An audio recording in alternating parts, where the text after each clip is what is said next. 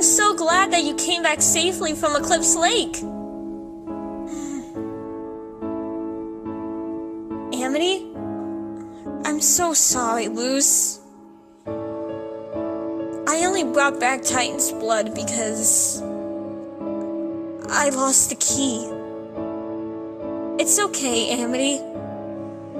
As long as you are by my side, repeat after me. We can fix this together. We can fix this together.